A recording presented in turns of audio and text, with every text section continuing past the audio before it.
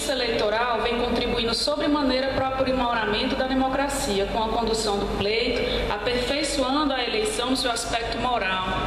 A cada ano, mais e mais estão melhorando o sistema de votação, de totalização e toda a logística que envolve um pleito. Em breve nós teremos a digital como forma de identificar o eleitor, para que a gente tenha mais segurança ainda na identificação do eleitor. Nós ainda temos falhas, mas somos humanos, é natural que tenhamos falhas e o progresso eleitoral ele vai estar sempre presente. Ainda é preciso discutir o financiamento público de campanha, assunto tão polêmico entre aqueles que se ocupam da eleição. E a Justiça Eleitoral não atua sozinha. É preciso outras instituições para que se cumpra bem a função. E em COR não foi diferente. Sempre é oportuno lembrar e enaltecer a dedicação de outros profissionais que tiveram ao lado da Justiça Eleitoral no exercício de suas funções, ajudando a boa condução do pleito.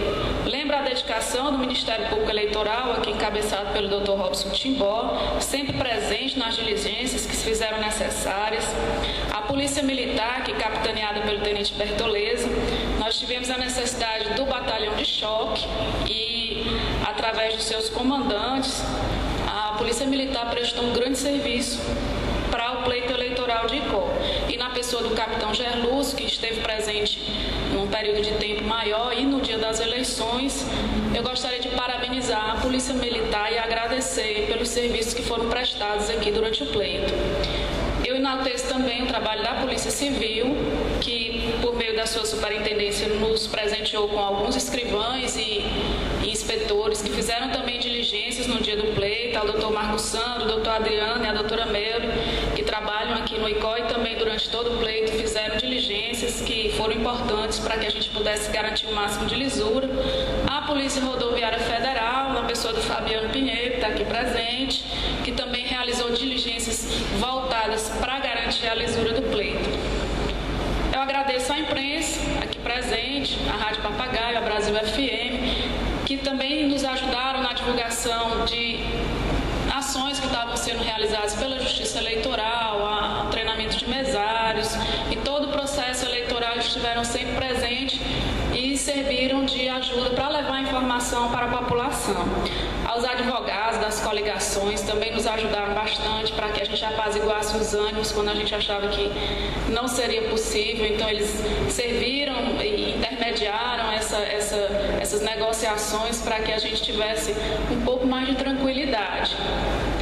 É, eu lamento um pouco que nas vésperas e no dia da eleição nós não tivéssemos a presença da Polícia Federal. A Polícia Federal não, não, não nos apoiou, não, não se fez presente aqui antes da eleição e no dia. Mas eu não posso esquecer o pronto apoio da instituição, da Polícia Federal, quando depois do pleito, alguns insatisfeitos com o resultado do processo eleitoral questionar a idoneidade das nossas urnas. Nesse momento, a Polícia Federal se fez presente e o delegado Francisco de Assis Castro Bonfim veio pessoalmente aqui junto com seus agentes e seus peritos e nos deu aquela, aquele apoio que nós precisávamos.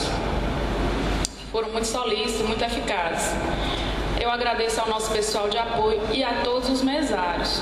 E ao pessoal do cartório eleitoral, a Francitânia, o Hendrick, não em meu nome eu faço esse agradecimento, mas um agradecimento em nome da população mesmo, porque eles não fizeram nada para mim pessoalmente e eu lembro que eles foram muito além das obrigações. A gente pode pensar que esse pessoal recebe salário para isso, mas o que eu presenciei, o que eles fizeram, foi muito mais do que a obrigação deles.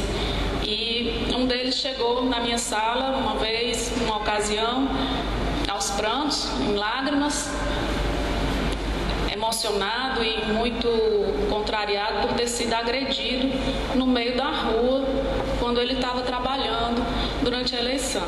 Mas me alegrou muito, porque mesmo tendo sido agredido e sofrido aquela, aquela aquela intimidação, ele se prontificou a continuar exercendo a função da forma que ele vinha exercendo e a fiscalizar a propaganda eleitoral da forma que fiscalizando.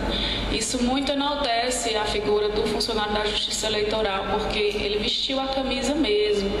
Né? E eu repito, ele foi muito além das obrigações dele. São essas pessoas, públicas ou não, que realmente fazem a diferença, trazem nosso, para o nosso país a esperança de que se torne um lugar melhor para viver. É por isso que hoje, nesse dia de coroamento e de encerramento do pleito, eu convido os senhores diplomados para que façam muito mais que suas funções, trabalhem mais que as horas previstas, se dediquem ao máximo, exerçam o cargo com probidade e compromisso com a coisa pública. O povo de Icó merece esse esforço. Muito obrigada, boa noite.